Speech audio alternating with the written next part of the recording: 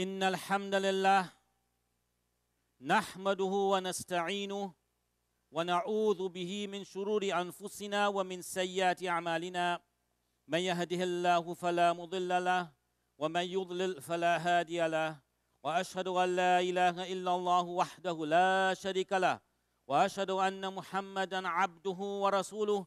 أرسله بالهدى ودين الحق ليظهره على دين كله ولو كره الكافرون. أعوذ بالله من الشيطان الرجيم. والله جعل لكم من أنفسكم أزواجا وجعل من أزواجكم بنين وحفدا ورزقكم من الطيبات. أفب- أفبالباطل يؤمن أفبالنعمة أفبالباطل يؤمنون وبنعمة الله هم يكفرون. وقال عليه الصلاة والسلام من رأى منكم منكرا فليغيره بيده. فإن لم يستطع فبلسانه فإن لم يستطع فبقلبه وذلك أضعف الإيمان وبعد My dear brothers and sisters in Islam, we thank Allah Azza wa Jal for this month of Sha'ban and we ask Him indeed to deliver us into Ramadan and to accept from us all our acts of worship, our dua, our fasting, our charity. we ask Him to make us good Muslims, that He will be pleased with us. And we ask Him to save us from the punishment of the grave and that of the hellfire, and to save us from the many different anguishes of the day of judgment. To give us shade on that day, that there is no shade except His shade, Azza wa Jal. So Allah Azza wa Jal has given us many, many, many favors that we can't even count. And he tells us in the Quran, Wallahu ja'ala lakum min anfusikum azwaja. That Allah has made for you from amongst yourself wives. Wives. So we do not have to go and get married to people to outside of mankind. We have wives. And that is a favor from Allah Azza wa Jal to us. A favor of Allah Azza wa Jal to us. It's a favor. And how do some of us treat that favor? We are very ungrateful to that favor and for that favor. Because check us out how we slap and we kick and we cuff and we curse and we tell them all sorts of nasty things. All sorts of things that, you know, some of us will not even want to repeat. So, a favor of Allah Azza wa Jal that He has put there to protect us, that favor of our wives, our protection for us. He says so in the Quran. Hunna libasulakum. Hunna libasulakum. They are garments for you, protection for you from lusting and lewdness and adultery and fornication. Hunna libasul lakum, they are protection for you. So Allah Azza wa Jal give us, has given us a favor to protect us, and we are ungrateful. La ilaha illallah. Because of the abuse we give to that favor. Hunna libasul lakum. Wantum libasul lakum. Wantum libasul lahun. And you also are protection for them. So, Allah has created wives for us. وَجَعَلَ مِنْ أَزْوَاجِكُمْ بَنِينَ وَحَفَدَةً And from those wives, He has given us children and grandchildren. From those same very wives that He has given us, He made children and grandchildren. And really, when you have your grandchildren, you'll see you, you'll treat them better than you treat your children. Serious. Because now we are a little wiser, and you know, as I say, you get a little grace or a little grayness means wisdom, and we get we are softer and we are mellow, and we have learned our lessons and the mistakes that we would have made with our children, we will not allow our children to make with their children. Because Alhamdulillah, we are still around and we can show them and teach them. So your children and your grandchildren are favors from Allah Azza wa Jal. And my dear brothers and sisters in Islam, those favors of the children and the grandchildren are there for us to enjoy. And we love those favors. But unfortunately, in our society, even among men who are Muslims, instead of loving the children and the grandchildren, they go and they make love to the children and the grandchildren.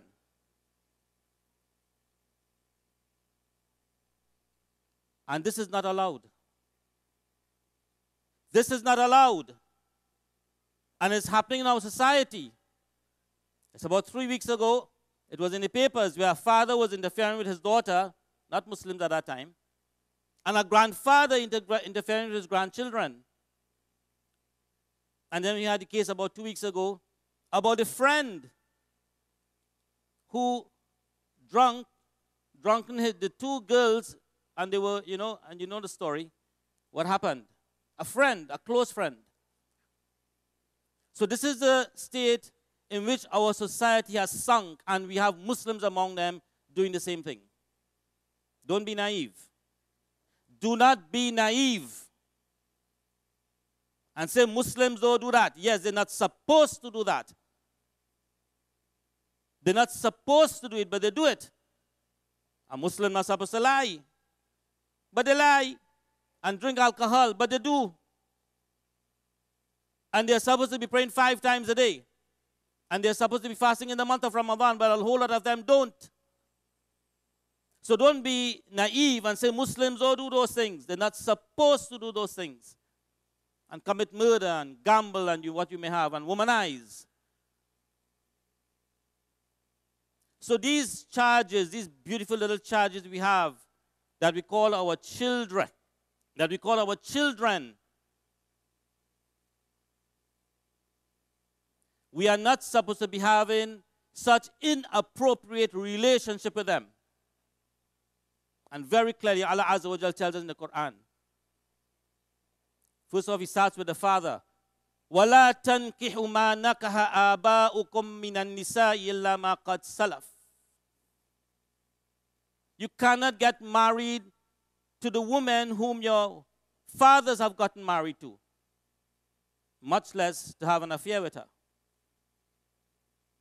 And then lower down he tells us, Hurrimat alaikum ummahatukum. Your mothers are haram for you to get married to, much less to have sex with her. Wabanatukum and your daughters. Wa khawatukum and your sisters wa ammatukum wa and your aunts on both sides. Wa ummahatukum allati wa and the woman who suckled you. Wa khawatukum min and your sisters from suckling.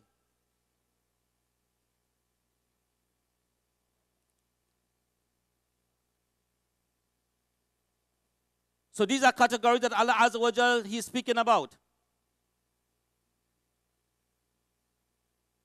And then He tells us, "Wa ummahatu nisaikum," and the mothers, your mother-in-law, is haram to have an affair with her. Wa rabaibukum allati fi hujurikum min nisaikum allati dakhaltum bihin. And your stepdaughters. Your step daughters from your wives with whom you have been intimate with. Your stepdaughters are haram for you to get married to, much less to have sex with her. It is haram. And zina on the whole is haram. And there are many brothers and sisters even though they are married, they are committing zina. They are fornicating. It is haram. One of the characteristic of Ibadur Rahman, the worshippers of Allah whom Allah loves, He loves them a lot, is walayas noon. They do not commit zina, they do not commit adultery and fornication. My dear brothers and sisters in Islam, where are we going? If there's anybody in this audience here, and inshallah, I hope there's not, but this is a very big audience. If anybody in the congregation here, man or woman, if you are having a haram relationship with anybody, stop it. If you are having a haram, a prohibited relationship with anybody, stop it. If you are having a haram, a prohibited relationship with anybody, stop it and turn to your Lord and ask the victim for forgiveness.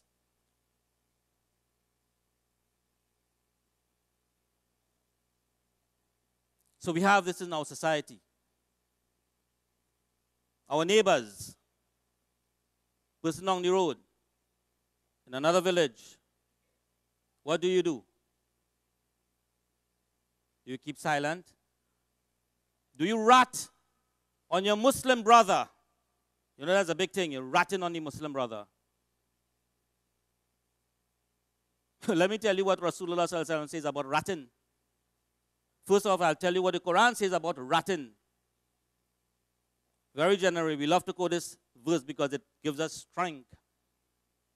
You are the best of people that came out unto mankind. Because you know why? Ta'muruna bil ma'ruf. You enjoy what is right. You command what is right. Wa tanhawna anil munkar. And you forbid what is wrong.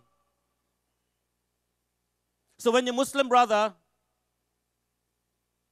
he is doing one of these things that is haram, do you stop him? He's interfering with his 14 year old, may Allah forbid, stepdaughter. Do you go and tell the police? Do you want to enjoin what is right and command what is right and forbid what is wrong? Or do you shut your mouth because he's a Muslim brother? So you don't want to rat him because your name will go out there.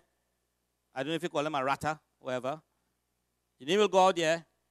And your Lord is displeased with you because you did not enjoin what is right and forbid what is wrong.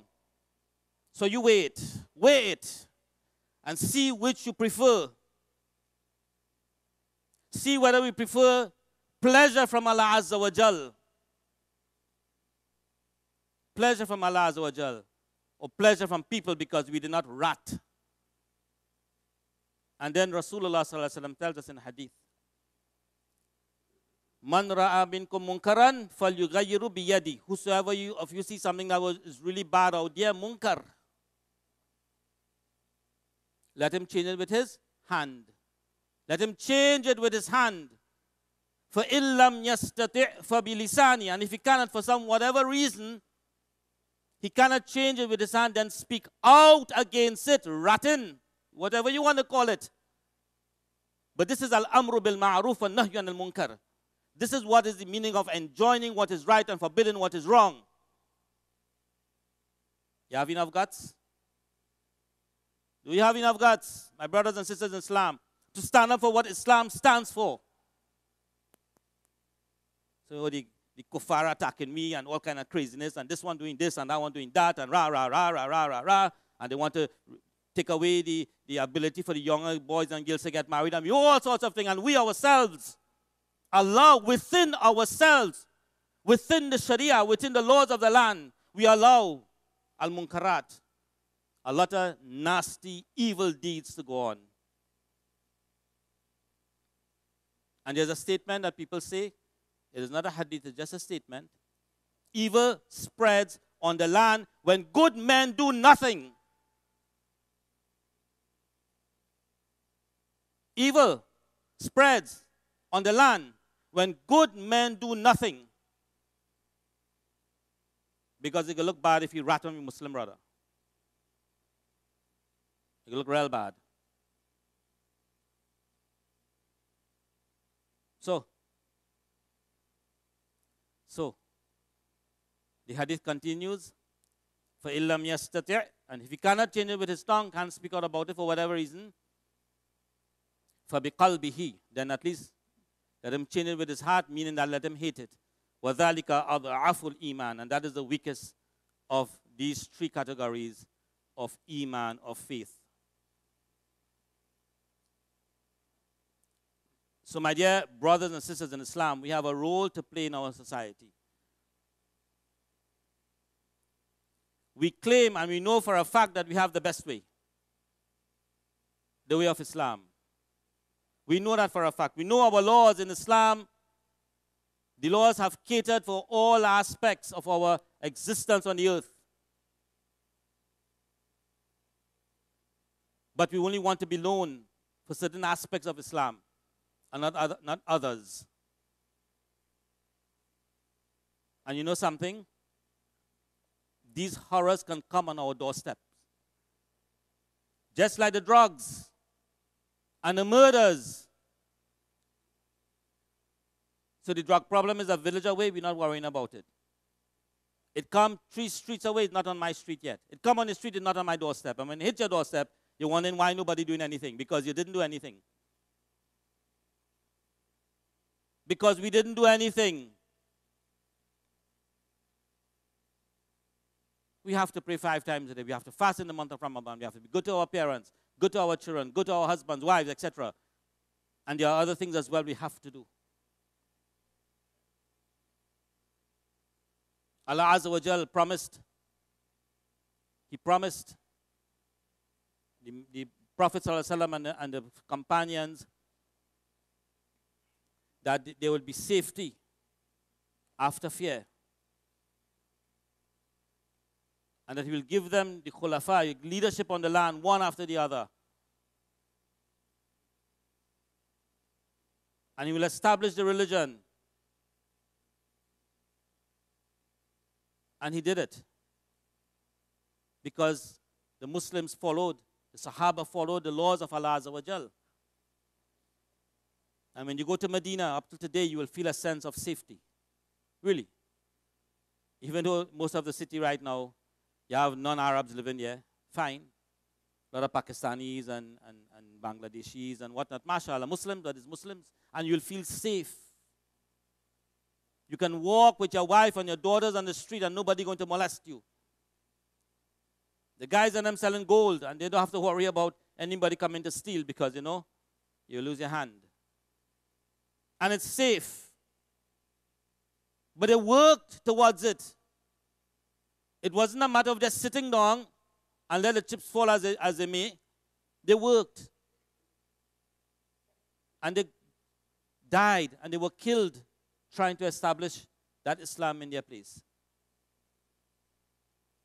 And we are so reluctant, even certain basic aspects of our Islam to establish.